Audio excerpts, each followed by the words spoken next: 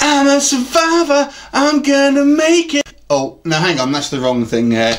I'm actually talking about the 2014 movie Survivor. So, this is actually a film by the production company Arrowstorm Entertainment, which tend to make independently produced, kind of mainly sort of fantasy films so far, and this is their kind of foray into more of a science fiction realm. Now, it's actually a little bit of a shame this has actually come out in 2014 because this is near enough the same story as the previously released After Earth starred Will Smith with a smattering of the time machine, H.G. Wells' time machine as well, and it really is pretty much the same story here. So the the story really takes place initially in space where we're told that there's these you know seven or so ships that have been sent off to try and find a habitable world basically that because the earth has become so sort of um, decrepitated basically and uh, their focus is on this one particular sort of crew, and they sort of find a, a kind of a potentially a, a, suitable planet uh, in a kind of wormhole somewhere. However, they a small sort of ship of, of kind of uh, scouts, I suppose, crash land, and and ultimately it's up to this kind of one lone sort of female uh, space explorer to kind of try and rescue her teammates and kind of find out what's going on. And on this planet, there seems to be sort of two forms of uh,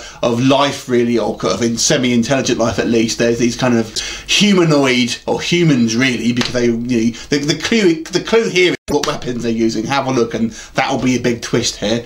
Uh, there's basically like kind of bunch of like Mad Max Thunderdome rejects that kind of stuff. And there's also these kind of what I only can describe as space orcs and uh, essentially this uh, this kind of female uh, sort of I think her name is Kate. She's got to try and find her sort of captain, who's played by sort of Kevin Sorbo, who's kind of broken his leg somewhere, and then trying to sort of send a distress beacon to get the kind of the, the, the major ship, so to speak, to come and sort of rescue them, etc.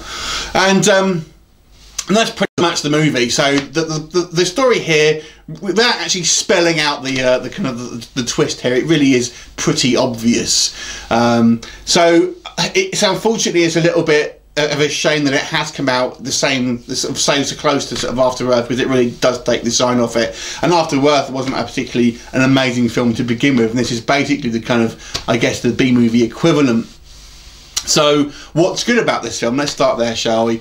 Okay, so basically, I would say the cinematography, first of all. Let me talk about this first of all, because it's actually very well shot, and it probably looks like a higher budget movie than it actually is, and that's partly because I think the cinematography is is actually very good, and there's, there's decent shots, they're well framed. Um, you know, and the camera work is all, is all pretty good. So on a technical level, I can't really fault this this movie too much. These effects aren't, aren't, aren't too bad either. Again, for a kind of a low budget film, there's a mix between kind of makeup effects and these kind of space orcs.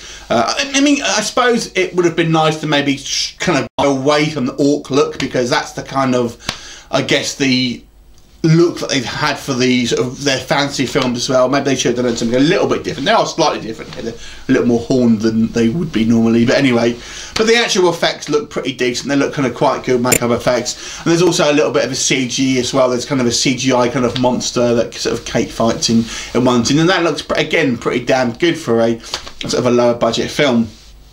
But the main issue I'm going to have here is the script is just so pedestrian. You just know everything's going to happen, and you know, it's just there's no surprises whatsoever. It, it, really isn't an original movie, unfortunately. Just even if you take the After Earth thing out of it, you just kind of know what's going to happen. There are some.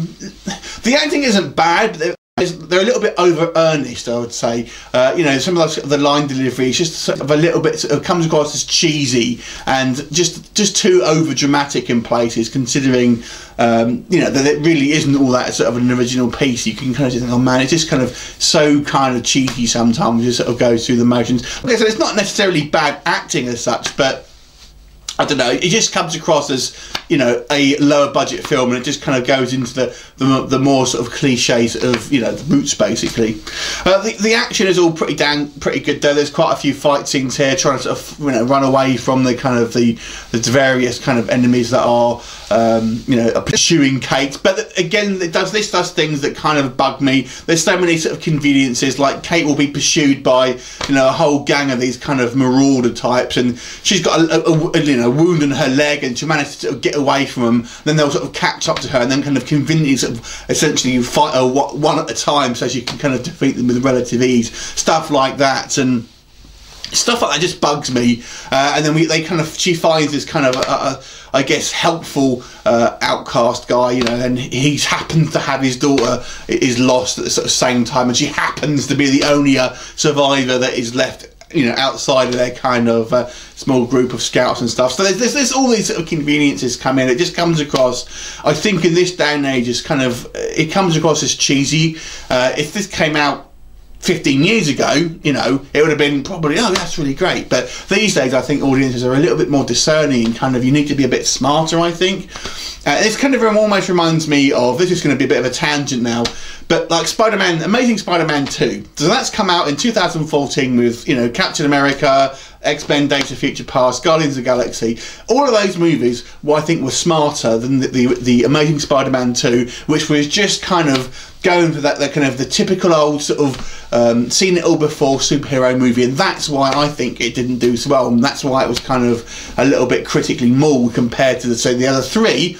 All of whom who, were, who had the kind of had evolved, I think, and kind of had their sort of flavour. Whilst this film is sort of you know, like Amazing Spider-Man 2, is stuck in this kind of old school mentality. Unfortunately, I don't think this is this is as good as their Arrowstorm's fantasy films. If I'm honest, I did um, a movie called Saga, which has kind of got the main actress in from this one is the main actress in that one as well, which is obviously their kind of their go-to gal, I suppose. Uh, that film, I would say, is, is, is, a lot better than, than Survivor. Survivor isn't bad; it's just kind of average, really. So if you like your I guess, kind of lower budget sci-fi movies, and you may get a kick out of this. Like I said, it's not a terrible movie by any stretch of the imagination. There are some things to enjoy here, but I'm probably going to say this is probably only slightly over average, and I, and I give it sort of a slightly over average purely because I say the technical aspects here. It's a well-made film for the budget, so I'm going to give it a 5.5 out of 10. Have you seen it? What did you think of it? Leave me a comment, and I will look forward to seeing you next time. Bye for now.